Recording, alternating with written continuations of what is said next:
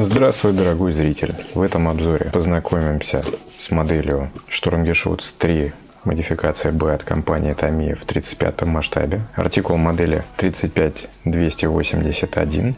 Набор содержит точную копию ствола с нарезом, интерьер, повторяющий интерьер прототипа и фигурку командира. Также фототравление, и на одном из боковиков можем видеть вариант окраски машины в немецкий серый цвет. Производитель предлагает красить баллончиком краской под номером ТС номер 4 и вариант эмблем, нанесенных на данную машину на период 41 года, апрель в Греции. С другой стороны, у нас модель с открытым интерьером и картинка дополнения для этой модели. Модель выпущена в 2005 году. В наборе стандартная для Томии инструкция, описание на двух языках, английский и японский. Кому интересно, можете почитать. Инструкция стандартная для Таймии такая вот развертушечка Вначале у нас всевозможные предупреждения, необходимый инструмент при сборке модели, список, табличка красок для работы с моделью и 19 пунктов по сборке данной модели. Модель довольно несложная, не сложнее, чем обычный вариант Sturmgeschütz 3 без интерьера. В общем-то, осложняется только э, сборка интерьера в данном случае. Но, тем не менее, данную модель я не считаю особо сложной, так как качество деталей отличное и все стыкуется как положено. В наборе вложен листочек с декалями на 4 варианта бортов, так скажем. Поближе посмотрим на фотографиях. Инструкция по нанесению опознавательных знаков и принадлежности к той или иной части. Здесь у нас польский вариант на июнь 41 года. На этой страничке у нас август 41 на Уман. И Польша июнь 41 еще один вариант. И апрель 41 на Грецию. Итак, что мы знаем о виниле? Винил – это прекрасный, теплый, ламповый звук и неповторимое качество записи. Но в данном случае мы поговорим о виниловых лентах для имитации траков в данной модели. Траки качеством стандартным для Томии, мягкие, не рвутся, не рассыпаются. Модель напоминает 2005 года выпуска. Но для того, чтобы повысить качество и аутентичность модели, мной был приобретен набор дополнение в виде смоляных траков. В наборе 408 звеньев и 480 полупальцев и 240 звеньев для сборки гусеничных лент. Отдельно посмотрим на фотографии, как это выглядит.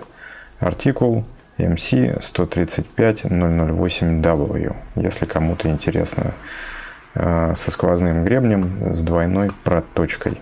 В наборе две одинаковых литниковых рамки под обозначением а.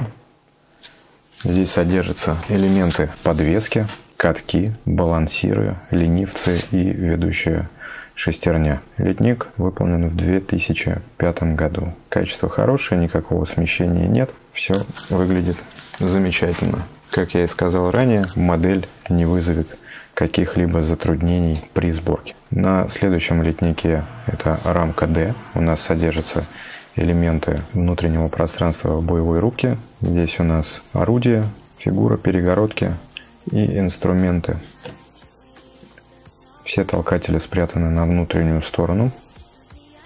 Рамка тоже 2005 год. Последняя рамка в данном наборе, это рамка B, содержит элементы корпуса танка. Выполнено также все прекрасно, без смещений, без облоев и так далее. Единственное, ну, не совсем как-то интересно выглядит трос, но кому-то, может быть, захочется его заменить на какой-то автомаркет, скажем так. Ну, в принципе, если даже этот трос окрасить качественно, то даже он будет выглядеть хорошо. Толщина брызговиков на надгусеничных полках. Стандартная для Томи, ну толстовато в общем-то. И опять же для этого я приобрел дополнительное фототравление от компании Eduard. В частности, это экстерьер на данную модель и интерьер. Как я говорил ранее, набор комплектуется небольшой платой фототравления и точенным стволом. Также в наборе идут такие вот второпластовые втулочки для сборки подвески и заготовки в виде таких тяг для сборки орудия. И последняя деталь из данного набора – это такое корыто ящик корпуса танка. Также все выполнено очень и очень качественно. Всевозможные лючки, заклепочки и так далее. Единственное, отсутствуют сварные швы на панелях. И также эта деталь 2005 года. Для того, чтобы украсить модель, мною отдельно были приобретены наборы фототравления от компании Eduard. Это у нас экстерьер и интерьер. Ну, то есть внутренности и внешние детали для данной модели. Интерьер у нас представлен в виде трех плат фототравления. Довольно много деталей на этих рамочках. Вот такие интересные детали. Также набор фототравления для корпуса танка. Здесь у нас две платы фототравления. Также все выполнено очень замечательно, качественно. Вот так вот.